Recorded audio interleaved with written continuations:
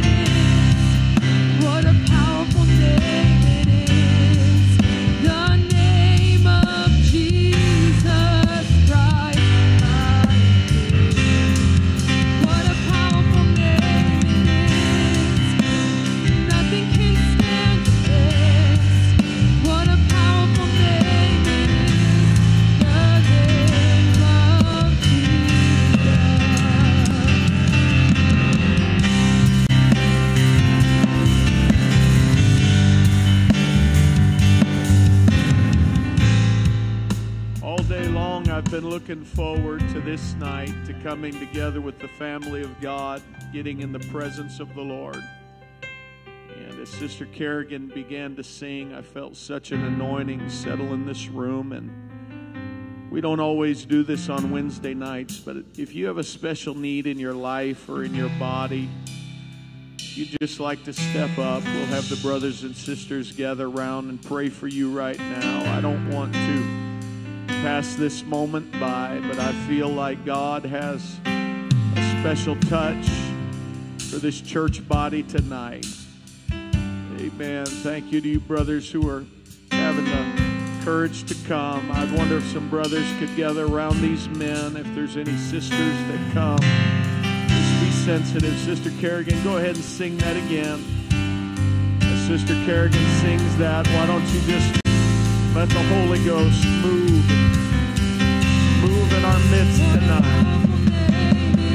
Hallelujah. I wonder if there's some ladies that can come pray for Sister Savannah as she stands in the stead of her mom.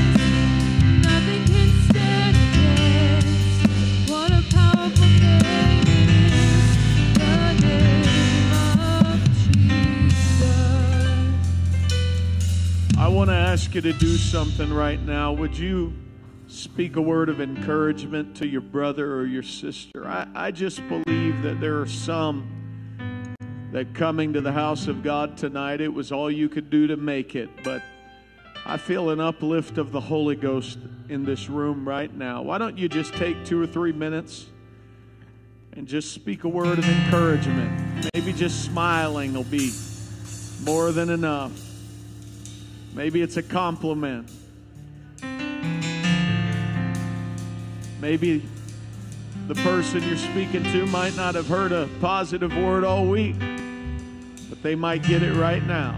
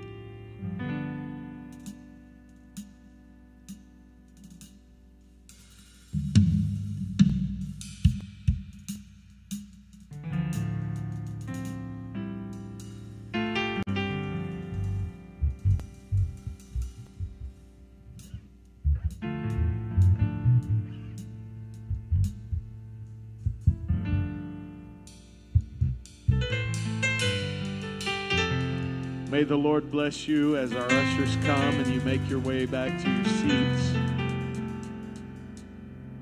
And I want to take this moment and commend all of you who worked hard all day but made it to the house of the Lord. And thank you for being faithful. And I believe that because you're here, there's a special touch and there's a special blessing that is upon you. Amen. What an amazing weekend we had. Saturday night, Sunday morning, Sunday night. Saturday night was very, very powerful. Brother Doug Swart told me, he said, I was sitting at my desk in Modesto and I felt like the Lord prompted me to go to Kerman. And he walked in with a word from heaven. And we didn't know he was coming, but God knew he was coming and he knew what we needed. And then Sunday morning, there was a special touch. Sunday night, Brother Elias Navarez did a wonderful job preaching a very timely word to our young people. And we had a, an amazing, deep move of the Holy Ghost. And I believe it was all to prepare us for tonight. I've lived my whole life to get to this day. That means everything leading up to this day was to prepare me for tonight. So I don't want to waste tonight. I don't want tonight to pass me by, and I don't want to pass tonight by, but I want to have an encounter with God. Is that your desire? Amen. Amen. Jesus, I thank you for your hand of blessing that is upon your people. Thank you for spiritual blessings that are present in this church body. I thank you for your financial provision. God, you've done so much, and we just want to say thank you. We thank you for your hand of protection on our kids. We thank you, God, for your hand of guidance on every decision and on our future as a church and as families and as individuals. I pray tonight that you will minister a healing touch to all of those who are sick in body those who are traveling, that you would keep your hand upon them. And I pray over this giving tonight, Lord, that your blessing would be upon it. In the name of Jesus, we pray. Amen. God bless you as you come and give tonight. And as you are coming to give, I want to uh, let you know that this Sunday night we will not be having our normally scheduled Sunday night service, but our young people are going to have their youth Christmas party. And so I wanted to make all of you aware of that. We have some who are not in the youth group who come on Sunday nights, and uh, if you come this Sunday night, it won't be prayer. You'll be you'll be crashing the youth Christmas party. And so uh, we we do have a special Christmas schedule. We'll announce more about that on Sunday. And uh, right now, we just want to dismiss our children. Tonight, the young people are going to be staying in. We have Brother and Sister Ellis that have come to be with us tonight. We're excited to have them. Very, very excited. And I want to encourage you stay in tune with Jesus throughout the holidays. Don't get carnal for Christmas. That's not the gift that we want to give the Lord. Christmas is a time that we have chosen to celebrate birth of Jesus Christ, and so we want to keep him central to everything that we do this year. And so enjoy your family. Buy the kids some Christmas gifts. Enjoy decorating the tree and drinking a little hot chocolate. Gain three pounds if you must. If we could just shut those back doors before we all freeze out tonight. It's beginning to feel a lot like Christmas. Amen. But whatever we do, let's stay in tune with Jesus. Let's stay in the Holy Ghost throughout this year. How many are going to wave your hand and say, I'm going to make an extra special effort just to keep on walking close to the altar and living near to Jesus? Amen. Amen. I felt like the Lord directed me to invite Brother and Sister Ellis. I told Brother Ellis, I said, Brother Ellis, we love when you come, but I'd really love if you could bring the whole family. And so we're happy tonight to have Camilla, Heidi, Leo, and Theo. And Brother and Sister Ellis are here. And I believe that Brother Ellis has a word from the Lord. He's just kind of part of our extended church family. And for a while there, he was preaching when I was gone. And um, most of you probably don't know this, but most visiting or guest preachers prefer that the pastor be there. It's easier to preach if the pastor's there. But then the pastor wants to have somebody who can handle it when he's gone, that he trusts. And so it's a it's kind of an honor even though you don't like doing it, preaching without the pastor there, it's kind of an honor because you trust him. And so for a while there, Pentecostal Tabernacle, Brother Ellis was my go to. That when I was out and when one of our local brothers weren't preaching, who we trust all of them in the pulpit, but well, maybe one or two that we. No, I'm just kidding. I'm just kidding. I'm just kidding. We don't want to stir anything up bad on Wednesday night. But we would have Brother Ellis because God has a special touch and an anointing upon his life and Sister Ellis's life. They're doing an incredible job uh, leading the uh, hyphen group Lifeline in CLC. He is the college campus pastor, and he does about 45 other things. And he does them all well. They do them with an anointing. And I'm pleased to announce to you tonight that Brother Ellis is going to be one of the speakers at our School of the Prophets that's coming up in March. And so we're excited about that. Brother Ellis, come minister what the Lord has laid on your heart for Pentecostal Tabernacle tonight. Praise the Lord, saints. How many feel good in the house of God tonight? Amen. How many can feel Jesus? I feel the presence of God as the moment I walk in. Some churches you have to go to and you have to warm up the Spirit of God. Other churches you go to, you feel as if God is there waiting for his saints to come. Amen. There's something about faithful saints with faithful expectation. Every time I come to Pentecostal Tabernacle, this is my first time in this remodeled building, and I have to say, it looks absolutely wonderful. It looks great. Praise God. And, uh, amen. And uh, I am in wonder that at one time this was a Presbyterian church, Methodist church, amen.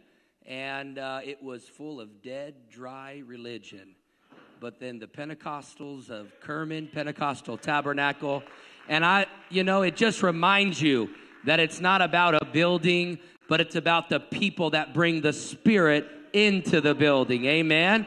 Let it be a lesson that you can have a move of God anywhere you go. Amen. I give honor to your pastor tonight, my very, very dear friend. Um, I feel greatly intimidated by that introduction. Amen. Because I feel like I have to try to live up to it. Amen. But I feel very comfortable here tonight. Um, I know that I am in the will of God. I have a word from God.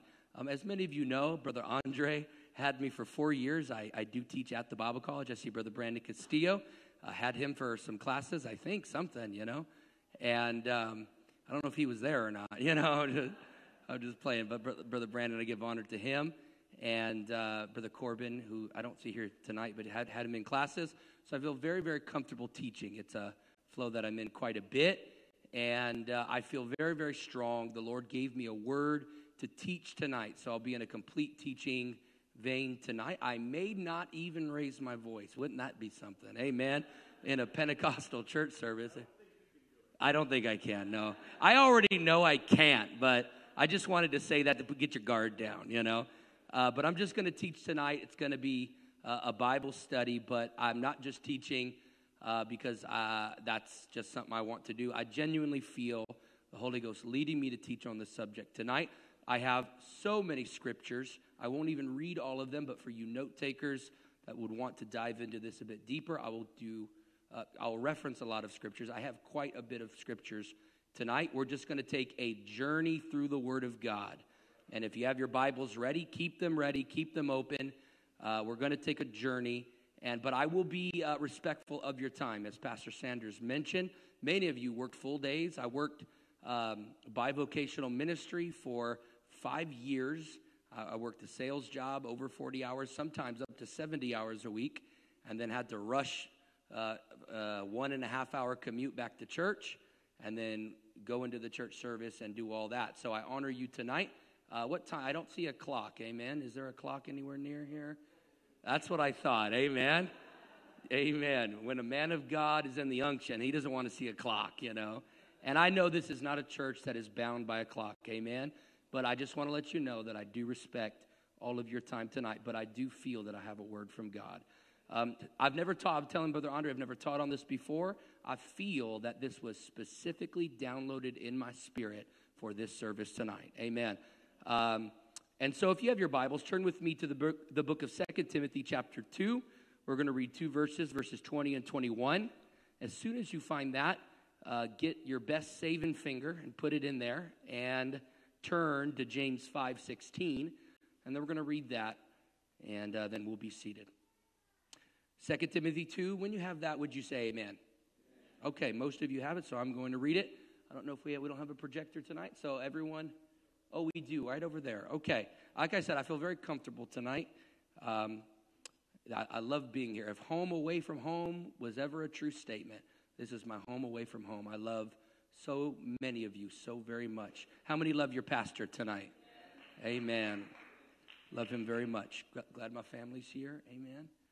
Praise God. I've delayed you long enough. Second Timothy chapter 2, verses 20 through 21. But in a great house, look at your neighbor and say, a great house. And I want you to take note of that word in. Everything we're about to read about are things that are inside of the house. There are not only vessels of gold and of silver, but also of wood and of earth, some to honor and some to dishonor. Uh, God uses all types of vessels. He doesn't just use one type of vessel. And just because somebody is being used does not mean they are being used in an honorable way. I don't want to be a vessel of dishonor tonight. I don't want to be a vessel that God uses but doesn't want me to remain in his house after he's done using me. Verse 21, therefore, if a man if a man therefore purge himself from these sins, uh, if you look at the context, these are sins of the tongue uh, that lead to more ungodliness and gossip and arguing and those types of things. If you read 2 Timothy 2, uh, if he purge himself from these, he shall be a vessel unto honor, sanctified and meet for the master's use, and prepared unto every good work. James 5:16. I'm only going to read the second half of the verse. It's the more familiar part of the verse. The effectual fervent prayer of a righteous man. Turn to your neighbor and say a righteous man availeth much. Tonight I'm going to teach on this subject, the anatomy of a righteous man. The anatomy of a righteous man. Last time I was I taught here, I taught on, on the anatomy of a backslider. I don't know why God has me teaching anatomy every time I'm here, but I got the title before I remembered that fact. And so I do believe uh, there's something there tonight. Would you put your Bibles down and just lift your hands to heaven? Dear Heavenly Father, we thank you so much for the Holy Ghost that is already here. Lord, you put your word even above your own name. So, Father, there's nothing more powerful than the word of God tonight. I allow the word of God to do the heavy lifting as I try to convey these concepts and truths and scriptures. Lord, help us to leave here stronger than what we came. Help us to leave more equipped, God, to serve, more equipped to walk, more equipped to live. God, that we would have tools in which would help us to live overcoming lives for you, Lord. I know that it is your will that we live for you according to knowledge and to wisdom, Lord. So we apply ourselves to doctrines and exhortations uh, and teachings tonight, Lord. We love you, Jesus. In Jesus' name, everybody said amen. Amen. You could be seated tonight. Uh, there is hardly a more biblical word in all of the English language than that of righteousness. Having grown up in church, it was a word that I have heard all of my life. And it was one of those words that you had somewhat of a feeling of what it might have meant. But it what you weren't really quite sure of its full definition. So I'm going to try to explain that to you tonight. The Greek word is dikaios. Its simplest meaning, so word righteous in uh, the Greek, the original language of the Bible, and its simplest definition means to be correct, or by implication, innocent. A more theological definition is the conformity of God's standard of what is right. In other words, righteousness is doing what God thinks is the right thing to do in every and in any scenario.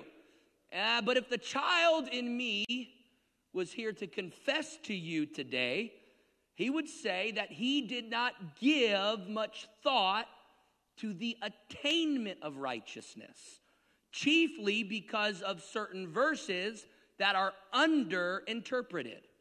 The book of Romans, chapter 3, verse 10, it's a verse that we can probably all quote. As it is written, there is none righteous, no, not one. There is none that understandeth, there is none that seeketh after God. They are all gone out of the way, they are all together become unprofitable. There is none that doeth good, no, not one. And so, at first glance, it might appear that righteousness is an unattainable thing in the kingdom of God. And there are many charismatic and denominational people that take this side. It is impossible for us to become righteous in any way. And, and they go on uh, about their doctrines that I won't elaborate on here tonight. But having a proper understanding of theology, or in, under, in other words, having good sound teaching, is imperative to your walk with God and your understanding of the Word of God. That's why I believe that we should not just show up to Sunday morning preaching, but we need to show up to Wednesday evening Bible study. Uh, preaching conferences where people get up and talk about all of the benefits of the Word of God and encourage you to read the Word of God and encourage you to live a consistent life walking with God. We uh, have those by the thousands, and generally there are no seats left in the building. But when it's time to teach the Word of God, it's like pulling teeth to try to get them in the building. And so coming and hearing your man of God. There is few men of God that are more effective at teaching practical biblical doctrines than the pastor that occupies this pulpit every single week. And so uh, I, I know I don't need to tell it to you tonight, but if you need to nudge somebody that you know, encourage somebody to come and to hear the teached word of God. Because verses like Romans chapter 3 can be detrimental to somebody's walk with God if they do not properly understand it.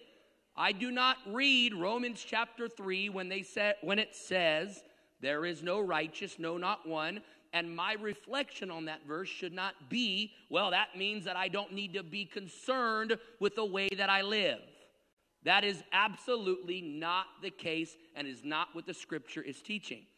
And so again, uh, the or 10 year old boy thought this way at one point in my life. Why concern yourself with the topic of righteousness if no one has ever been able to attain it?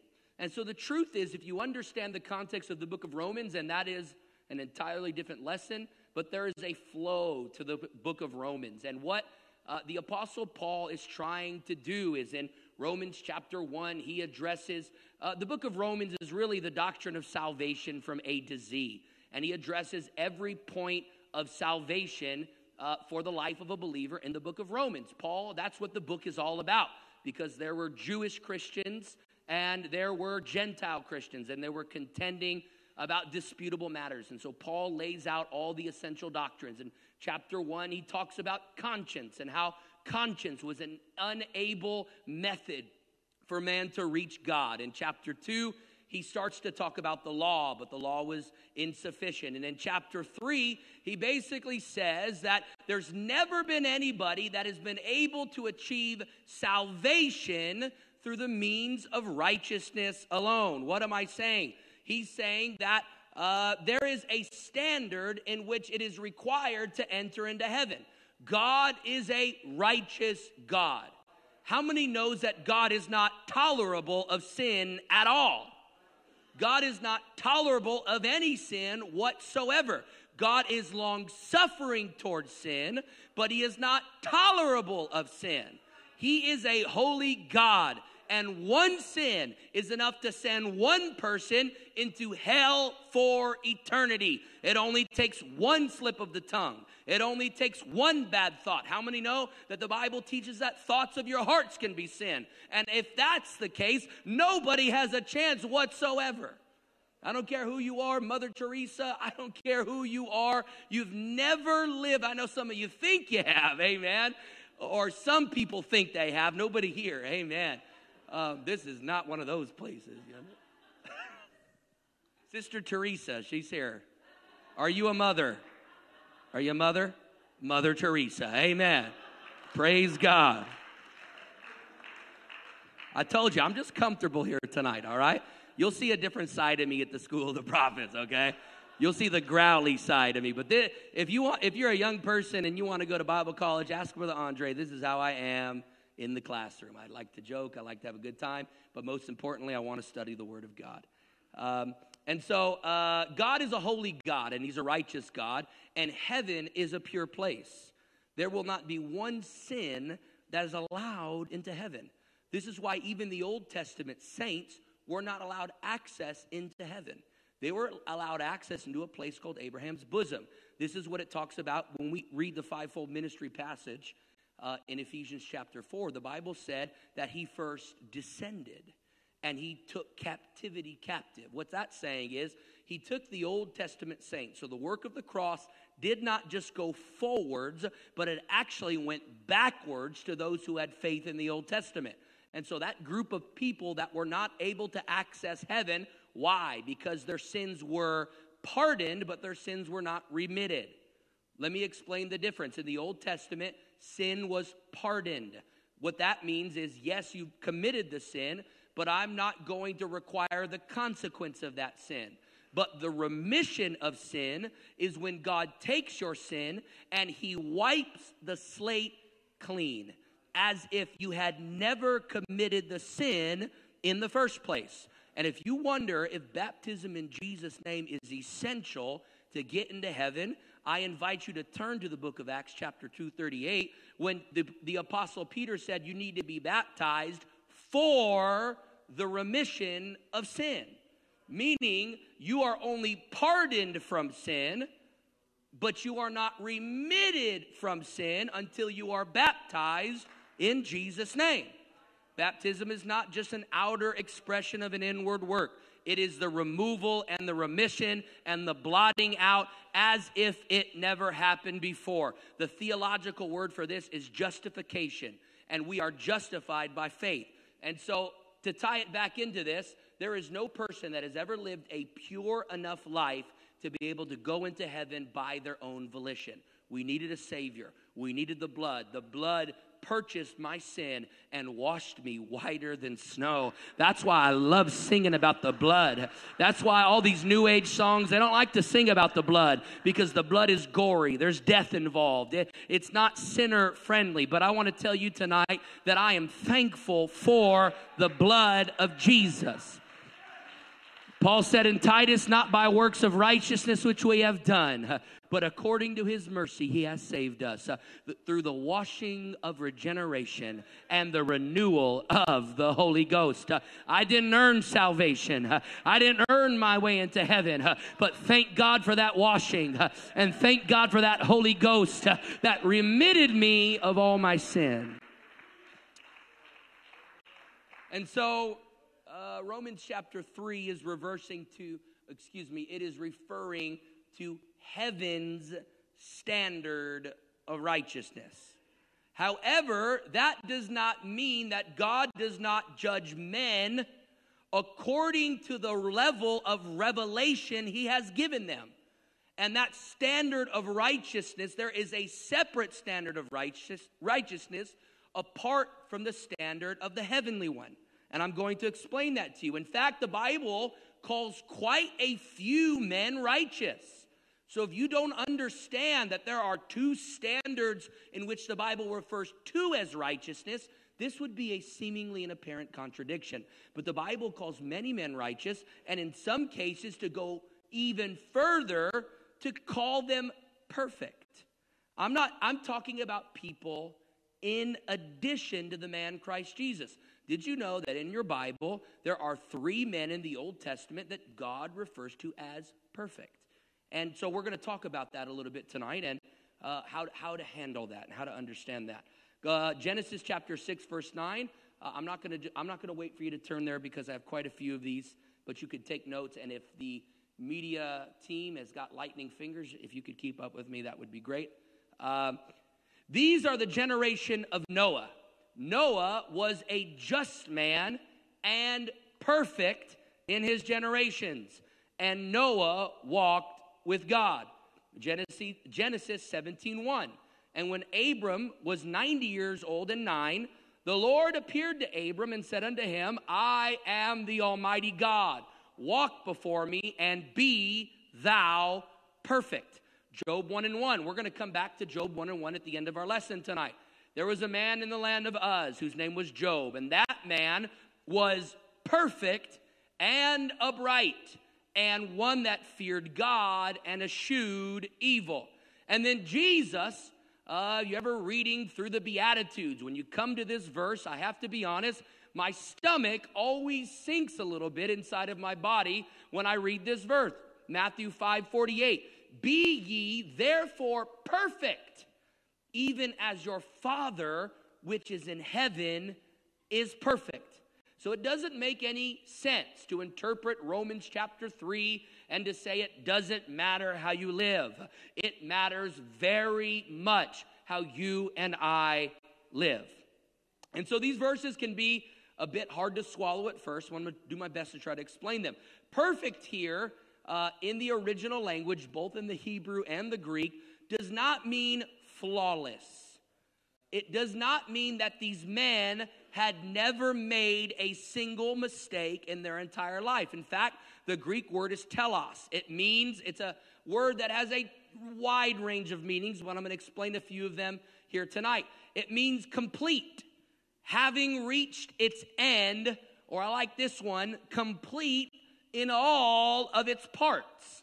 In other words, these men were, these men were able to be called perfect because they demonstrated completeness in using the tools and giftings that God provided to them in their particular dispensation. And so you have to understand that uh, a, a study of dispensationalism is very, very, very important to a proper understanding in the Word of God. That revelation is progressively revealed throughout Scripture and is manifested in Jesus Christ. You can see these progressive doctrines. Every major doctrine in the Bible can be found in the book of Genesis, and they start to unfold throughout the Scripture. But in these older dispensation, they were not given full revelation. And something that you need to note is that all three of these men, Noah, Abraham, and Job all existed before the institution of the law of Moses. After the law of Moses was given, no other man other than Jesus Christ was ever called perfect again. And so, under their dispensations, you have to understand that Noah lived in the dispensation uh, of conscience, meaning you live according to God, to what you see best in your own eyes. And that was the only tool he was given. Uh, Noah was given no Bible. Noah didn't have a pastor. Noah didn't have a church or a community. He was just a single man that walked with God. And according to the revelation that Noah was given, he maximized the potential of that revelation in that dispensation. And so God said, Build me an ark. So Noah built an ark. And by Noah building an ark, God said, You have done everything that I've asked you to do, therefore you are perfect. Under the dispensation of promise, Abraham was required, Come out from your land, the Ur of the Chaldees, and go to a land in which I will show you. That was step number one. The second step is he says, I'm going to make an everlasting covenant with you. And what I'm going to require of you is that you circumcise your children on the eighth day. And Abraham did those two things. He left out of his land and he went and pursued the land of God, uh, the promised land that he had for him, and he circumcised his children. So, perfection in the Old Testament was nothing more than doing everything that God asked you to do. It wasn't that these men didn't have any sins, it wasn't that these men didn't have any flaws, but God said, I'll look past your flaws, I'll look past your weaknesses, and I'm going to judge your character according to how you handle the things I've given you and the things I've asked you to do. God's not asking anybody to be perfect by an American standard. God is not looking for anybody to never make a mistake and never have a bad thought. We understand that uh, the standard of heaven was made for us, but He is asking for His people to live according to a standard where they can stand before God and say, God, I've done everything that you've asked me to do. I have been faithful. I have been a faithful steward of the giftings you have given me. And that was the Old Testament standard of being perfect. But as the law came about, there were 613 commandments that were given. So the new standard of perfection would be to obey all 613 commandments. But of course, no one was ever able to do this. So no one, as revelation progresses, perfection is harder to achieve. But under the law, there were still men that were counted as righteous. Abel in Hebrews 11:4 was called righteous. Joseph, the stepfather of Jesus, in Matthew 1:19 was called Jesus. Zechariah and Elizabeth, man and woman, parents of John the Baptist, and Luke 1 and 5 were called righteous. John the Baptist, Cornelius, Simon were all called righteous. These were not perfect men. But there is one man that I want to highlight to you tonight, and, and, I have a capitulation to the end of this lesson that I ultimately do believe is going to help you in your walk with God. I'm just laying a little bit of a foundation. Is that all right? All right. Second Peter chapter 2. If your neighbor's falling asleep, just give him an elbow in the ribs real quick. All right, just checking. Second Peter chapter 2, verse 6. We're going to read verses 6 through 8. This is one of the more interesting and complicated passages in the entire Bible. When you have it, would you say amen? And turning the cities of Sodom and Gomorrah into ashes, condemn them to destruction, making them an example to those who afterward would live ungodly. In verse 7, and delivered righteous Lot who was oppressed by the filthy conduct of the wicked. For that righteous man dwelling among them tormented his soul from day to day, seeing and hearing their lawless deeds. And so, if you understand anything about Lot, how could you say that he was a righteous man? Lot was the man that lived in the wicked city. He was the man that was asked to give a portion of his uh, of the sheep to his uncle Abraham, but but he kept it for himself. And while he was in the city, there was all kinds of evil befalling him. And the the angels came to his house and they visited with him. And the homosexual uh, community of Sodom and Gomorrah tried to beat down the door and tried to come in and rape the the men that were there. And Lot says, "Well, no, don't rape my guests. Why don't you take my daughters instead?" How could you consider somebody like that righteous? But we have to address this. In Second Peter, the Bible refers to him as a righteous man. And so you have to understand that generally we characterize people by their worst moments. This was not a good moment in Lot's life. Lot had a series of very poor moments and very poor decisions. But the scriptures say, yes, that was a bad moment, but I don't judge the character of Lot by his worst moments. And this is a, a, narrative that gets me so angry when it comes to the teenage age, when there's somebody that puts on and they get up and uh, they, they put on a good presentation, and there's somebody in the crowd that leans over, and Brother Brad, you're probably familiar with this, and says, Oh, yeah, yeah, they might be all spiritual standing up there, but I know the real them. And as, hum- and as humans, we don't characterize people by their best moments. We define people by their worst moments. And I saw what they did that one time. Who gives me the right to judge someone's character by their worst moments? Lot had a terrible moment of judgment. He had several terrible moments of judgment. And they didn't stop there. He didn't train his wife well enough. And when they were leaving Sodom and Gomorrah, she turned back and turned into into a pillar of salt. And then he didn't teach his daughters well enough. And later, they're up in the, uh, uh, the caves of Moab. And uh, it's not Moab quite yet. They turned to the Moabites. They're up in the caves somewhere. And because of the destruction of Sodom and Gomorrah, they genuinely thought they were the last people on earth. So they get their dad drunk with wine and they try to repopulate the earth using their father. And this is where the Moabites come from, where they're a sick and messed up people. So Lot did not have a perfect life. Lot did not make all the right decisions. He had some skeletons in his closet, but day by day, he saw the wickedness of Sodom and Gomorrah, and he never got comfortable with the wickedness, and he not never got comfortable with the sin of the world. His heart was, yes, I make mistakes. Yes, I'm not perfect, but my heart is to please the Lord. And the Bible says that wickedness vexed his righteous soul. So I've, I've come to just break uh, the myth tonight that just because the Bible says there's no one that has obtained the righteousness of heaven does not mean that God does not want you to obtain a righteous life while living on this earth. It's very important how you and I live. It's very important. Amen? Uh, and so I, I want to talk about this tonight, and, and I believe it's very important. And there's a verse that we can all quote. Uh, we could probably quote it uh, without even my assistance tonight. It says, For a righteous man falleth seven times, but he rises again. But the wicked shall fall by calamity. Now, the reason, now I might get a little excited at this point because God was touching me with this, and I've received great uh, uh, comfort from this understanding over the last couple of days. It's very significant what's going on in this verse. Okay, the Bible says a righteous man falls seven times. Let me explain why that's significant. Uh, this is not the usual formula that Scripture uses to describe this type of event. Now, I'm not a believer in numerology. I don't believe, there are some people that believe every number in the Bible has some type of deep mystical meaning, and sometimes there's hidden correlations behind the numbers. I'm not a big believer in all of that, but if you do understand Hebrew thought, certain numbers definitely have significance.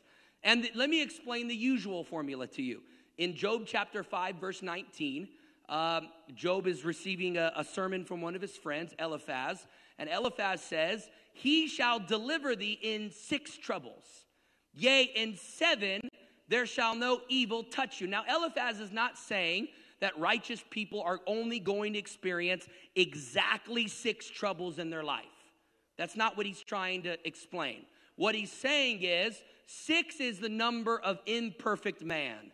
Six is the number of man. We were created on the sixth day. The mark of the beast is 666. What he is saying is uh, when you've done all you can do, you're going to experience calamity. But when God steps in the seventh time, He's going to deliver you. What He's saying is, when you have done everything that you can do and the number of men is completed, the number of God steps in and He's going to deliver you out of your problems. He's saying that God comes in and fills the gaps. When you've done everything possible and you've toiled and toiled and, and everything seems to be going wrong and you've paid your tithes and you've been consistent and faithful and you've been a faithful steward, at the end of the day, God steps in and does what only God can do. And so that's the usual formula.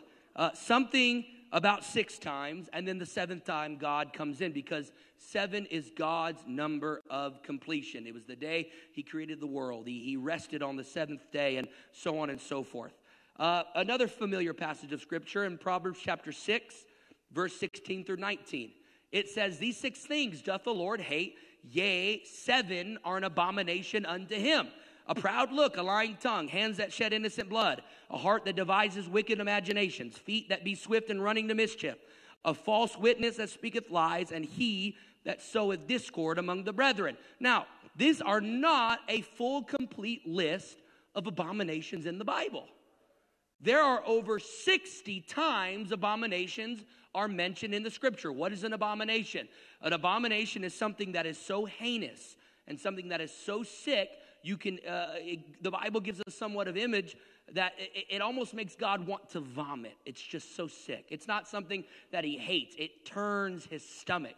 And, and, and so it's not that these are all the abominations in the scripture, but this is all the sins that you can commit against your brother.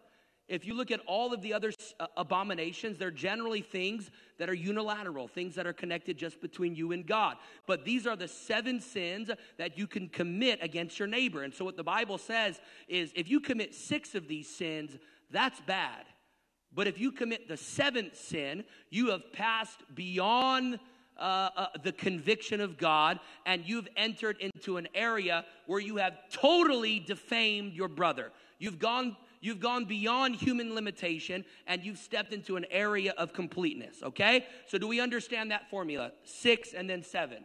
We understand that. The Bible says that a righteous man falleth seven times. Let me explain to you what that means tonight. It should say, i- i- with our human understanding, that he falls six times, but then he gets up a seventh time. That's not what the Bible says. The Bible says he falls seven times, meaning he falls down the perfect, complete amount of times. His falling is total, his falling is complete, his falling is final, his falling has, uh, there's no hope. Uh, he, he, he's gone to the very end of falling. He couldn't fall anymore, yet he gets up one more time. And God says, when all the odds are stacked against a righteous man, and he makes mistake after mistake after mistake, a righteous man falls. But what is characteristic of a righteous man is not falling. It's prophesied he's going to fall. It's prophesied he's going to make a mistake. But it's also prophesied that he's going to get up one more time. So let me preach a little bit about what it means to be righteous. A righteous man doesn't mean that you don't make a mistake. A righteous man doesn't mean that you're flawless. A righteous man says, I'm not giving up. I'm going to keep trying until I get this thing right. I hadn't figured out prayer yet, but I'm going to keep praying. I haven't figured out fasting yet, but I'm going to keep fasting. I haven't learned how to be a good husband or a good wife yet, but a righteous man says, I'm not giving up. I don't care how bad it looks. I don't care how final it seems. I'm getting up again. Woo, I feel the Holy Ghost. Would you just lift your hands right now?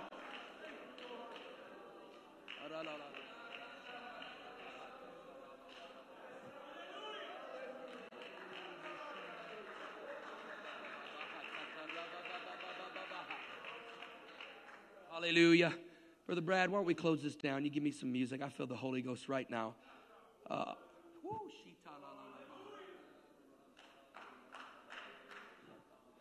I've been teaching this Bible study for 30, 45 minutes just to tell somebody that God, it's not God's uh, uh, will that you throw yourself in the deplorable basket, in the throwaway basket, just because you haven't figured everything out yet. Righteousness in Scripture, as far as God calling, I mean, if Lot was called a righteous man and all the mistakes that he made, God does not judge us according to a standard of flawlessness. I'm going to tell you what I believe the standard is of righteousness.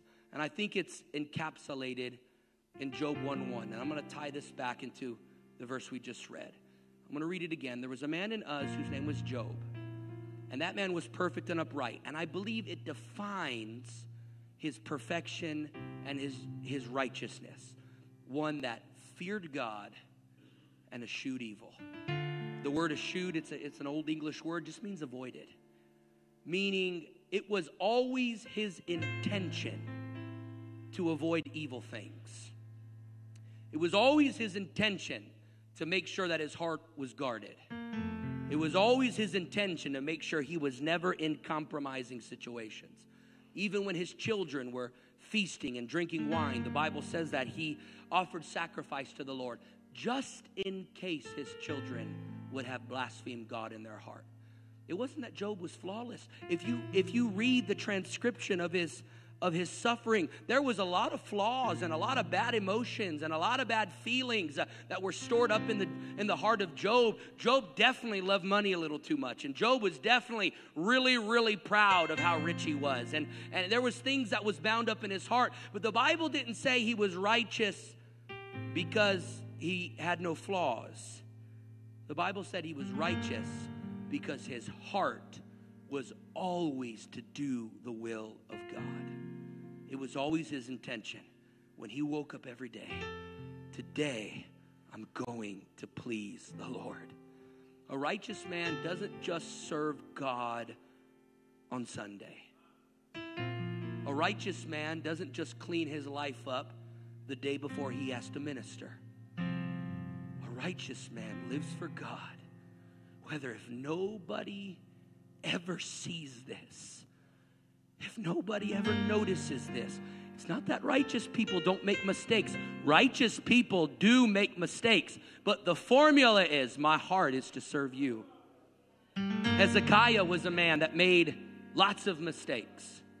Hezekiah, we can go through. He, he bragged on the gold to the king of Babylon and he sold, um, he sold the riches of the temple to the Assyrians. And, and Hezekiah did a lot of good, but he made some big mistakes.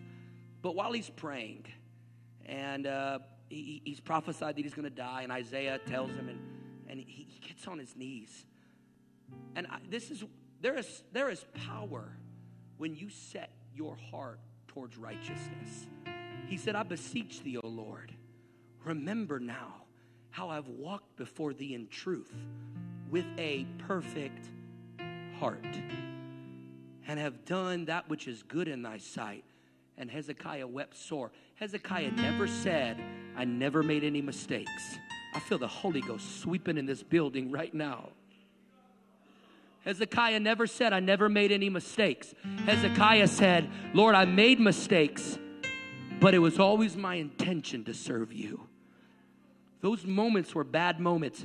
And so, back to our, our passage in Proverbs where it says, A righteous man falleth seven times. Read the context of that. It's talking about when calamity comes, it's talking about calamity falling righteous people and unrighteous people. And the righteous people always seem to make it, and the unrighteous people always seem to not make it. Read the whole context of the passage. So, what it's saying is that when calamity comes, so it, it's not saying that a righteous man is going to be on his couch scrolling through Instagram all day and then he falls. That's not a righteous man. A righteous man is when calamity happens and you know, like your house burn, burns down or your kid dies or there's no money in the bank account. You get sued for no reason. So, you lose your job. Something terrible happens. It's going to be in those moments, those bad moments where life was harder than we thought it was supposed to be, that we make mistakes. Even righteous people in their worst moments are going to make mistakes. But the fact is that they're going to get up one more time. And so, to be a righteous person, you've got to throw this idea that it's about perfection. It's about setting your heart, I'm going to please you today. That is righteousness in the sight of God. Today, my day is dedicated to serving you. And along the way, something happened and I fell down. Uh! And I pray like Hezekiah Lord, you know I didn't, that wasn't in my heart to do. It was a bad moment. I need you to forgive me for that bad moment. But I'm going to keep going. Let me tell you, there's a difference. I just feel this in the Holy Ghost. I didn't have this in, I didn't prepare this, but I feel it in the Holy Ghost. There's a difference between repentance and confession. And you need to understand that difference. Repentance is making an about face. Repentance means you're going the wrong way. So you turn around and go the right way. And some of you will need to repent tonight because it hasn't been your intention to solely serve the Lord. It's been your intention to do the half and half or whatever. And that's, we all, we've all been there. But tonight, you might have to repent and say, No, I, I hear the words of the preacher. I feel the conviction of the Holy Ghost. I am turning totally towards the Lord. Repentance is necessary. I still have to repent. But I've heard that there's this doctrine that you have to repent every single day. And I think the essence of that is true. But I do not have to turn my path every single day. We're not spiritual helicopters. I'm not changing. I, my heart is set towards the Lord every day. It doesn't mean that I don't make mistakes, but every day it's my intention to serve the Lord. But the book of First John says, if we confess our sins, he is faithful and just to forgive us our sins and to cleanse us from all unrighteousness. Sometimes you fall down when you're going the right way. And you have to confess, Lord, I don't need to repent. I'm going the right way. My, it's all about the state of your heart. Righteousness isn't about perfection of everything, it's about the state of your heart. And the final point I want to give tonight is there are benefits of a man or a woman that will set their heart to live righteous, to please God. I don't do this so pastor can see me. I don't do this so I'm qualified for pulpit ministry. I don't do this so Brother Brad will ask me to teach a Bible study. I do this because I want to please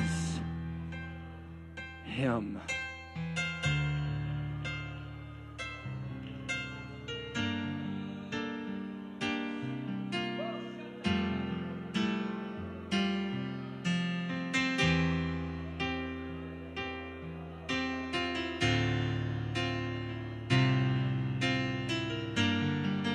Hear me right now.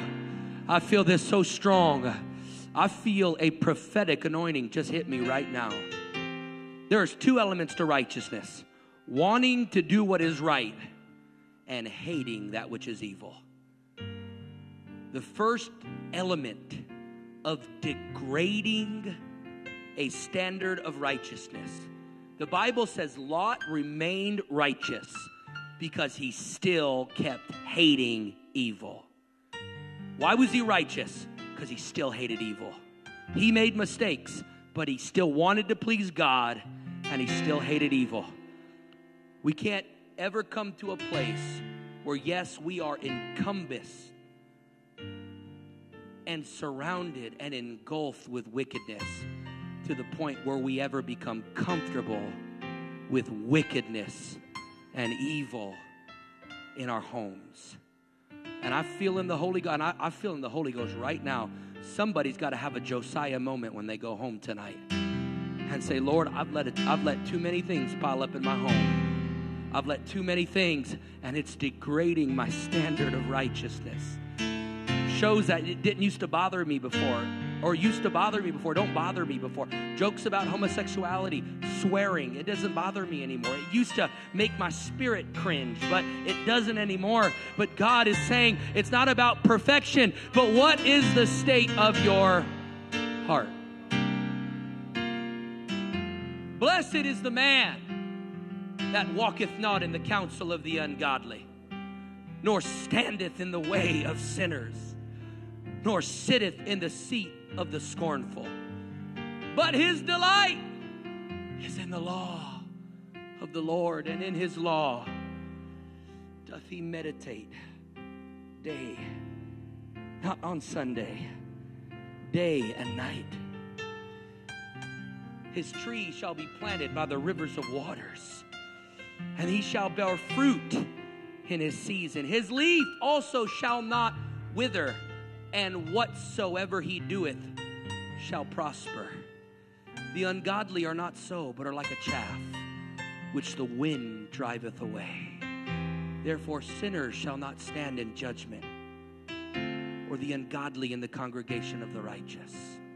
For the Lord knoweth the way of the righteous, but the way of the ungodly shall perish. The text I opened with tonight the effectual, fervent prayer. I believe in fervent praying. I believe apostolic praying is the way to do it. I think praying with fire. I think that word fervent means to boil over. I think we should pray like it like we're a, a, a pot of water boiling over. I don't believe in lay me down to sleep. I don't believe in just prayers under your breath. I believe there should be prayers where you can feel the fire of the Holy Ghost. You can feel it overwhelming. The way Brother Charlie prays when the Holy Ghost hits him. I believe in that kind of praying. I believe it's the right way to pray. I think we need to pray fervently. We need to pray effectually. We need to pray according to the will of God. Don't just throw random prayers and shotgun them. Get in this word and say, God, how do you want me to pray? But there's one caveat. I can't just show up to prayer with passion according to the word of God, living however I wanted to live. Did you know that God this is this might blow some of your minds. God does not answer prayers at the same rate for everybody? Did you know that? Did you know that he doesn't have like an auto auto reply where he has to answer every prayer? Did you know? He does, Oh thou that hearest prayer. We see him answering the prayers of ungodly people and, and unrighteous people and even demons in scripture. So God answers all kinds of prayer. What I'm talking about is the success rate of those prayers. The Bible says the effectual fervent prayer of a righteous man availeth much. And then he goes into Elijah and said Elijah was a man just like us, but he prayed that it wouldn't rain. And one righteous man was able to affect the lives of thousands and maybe millions of people because they didn't get any rain for three and a half years because a righteous man said it wouldn't rain. But then a righteous man said it would rain again, and millions of people were affected. That pays to live righteous. Would you lift your hands right now? I'm done.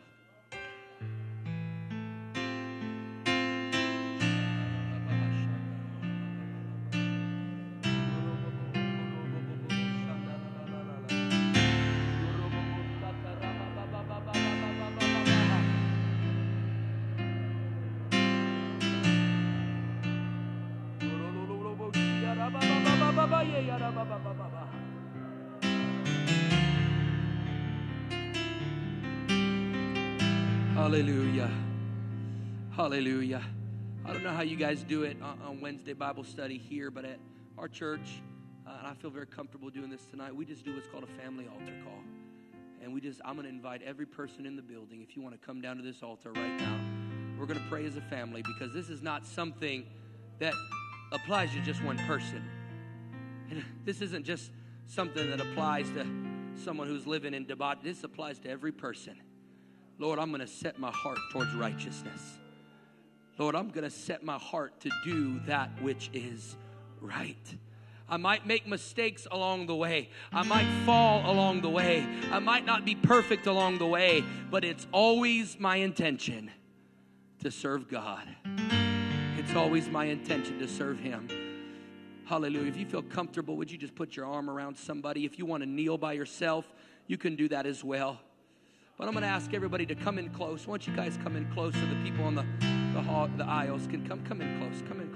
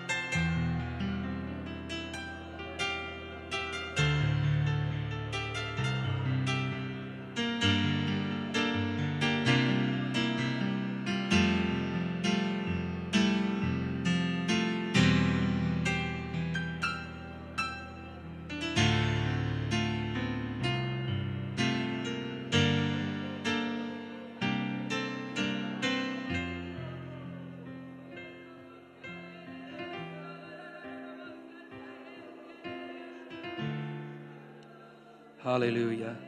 I just want to direct your prayers uh, just very quickly.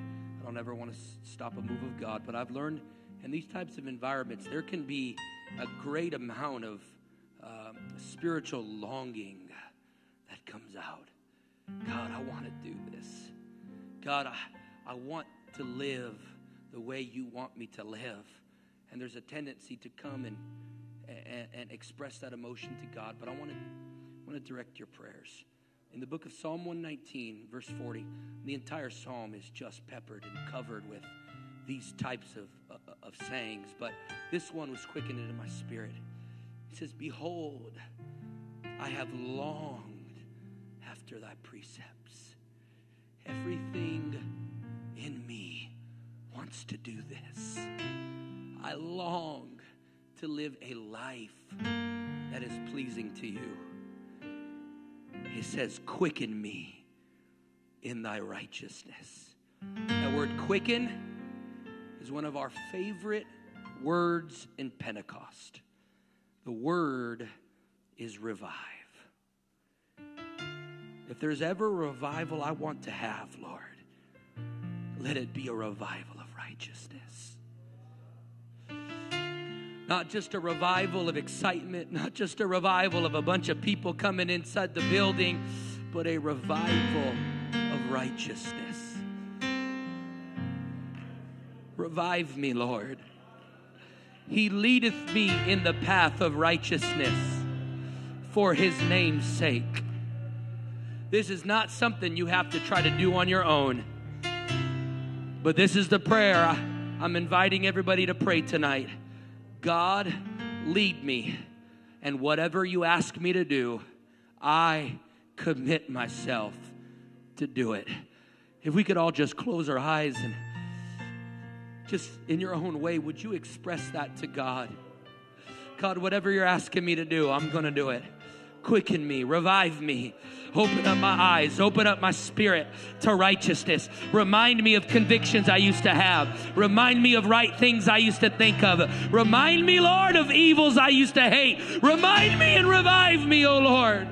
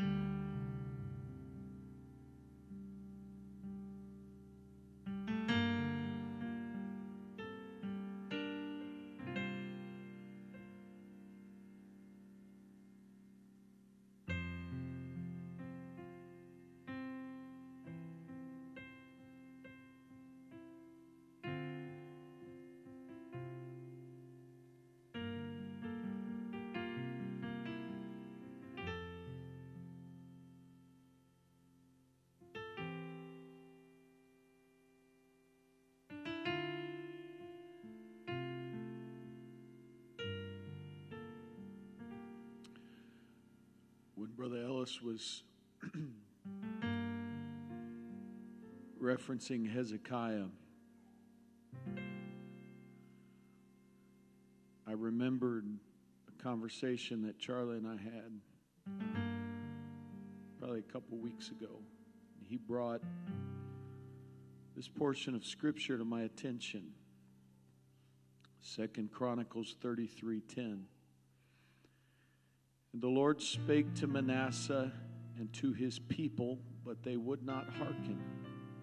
They wouldn't listen. Manasseh was one of the most evil leaders in all of the history of the nation of Israel. Wherefore the Lord brought upon them the captains of the host of the king of Assyria. They were so evil that God sent the Assyrian army against them which took Manasseh among the thorns and bound him with fetters, carried him to Babylon.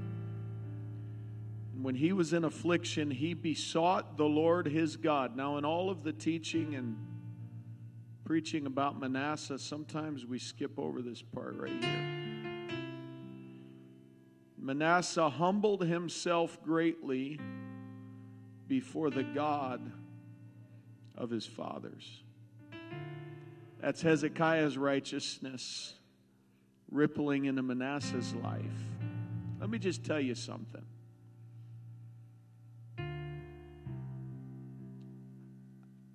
I'm not going to judge you and rejudge you and triple judge you by your greatest mistake. And God's not either. So quit doing it to yourself.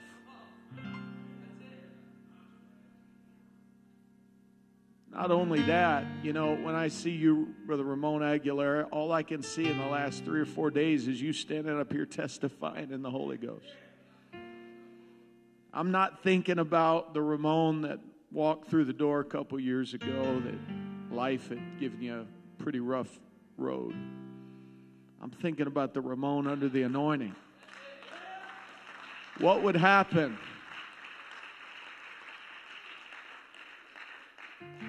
What would happen if we started looking at everybody through the lens of their high points? I think what would happen is we'd start lifting one another up with encouragement and we'd start living a little closer to those high points. Amen.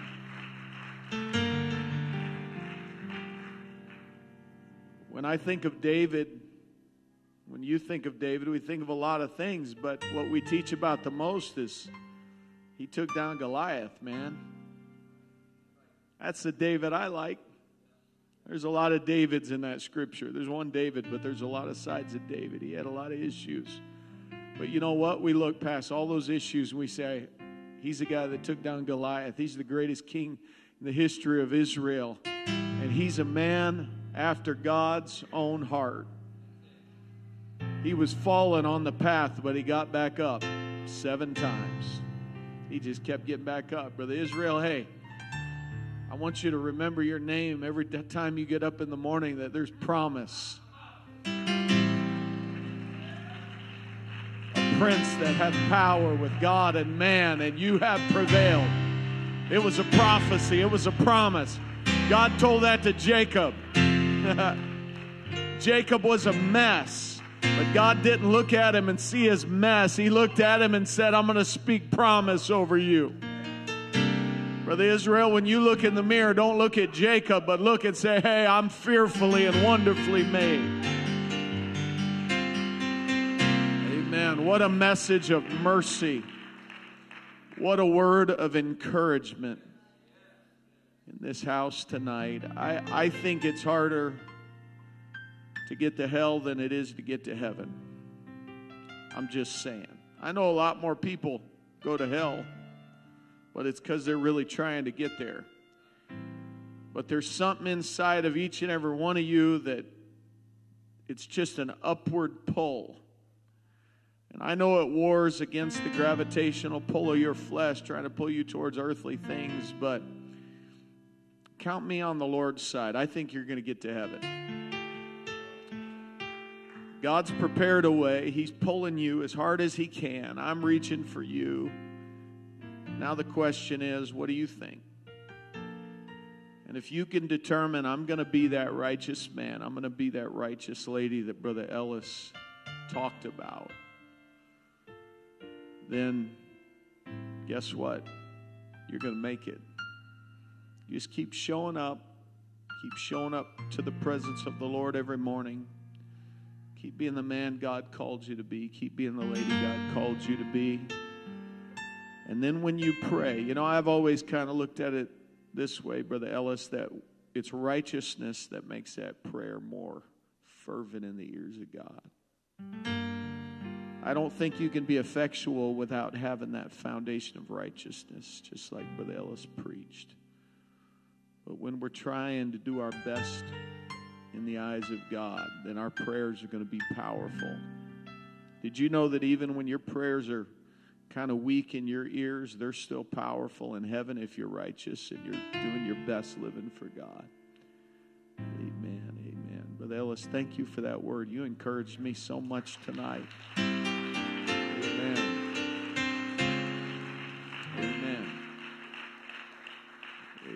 On your way out, greet somebody. Let them know it's so, so good to see them. Hey, I want to say something that I haven't said enough.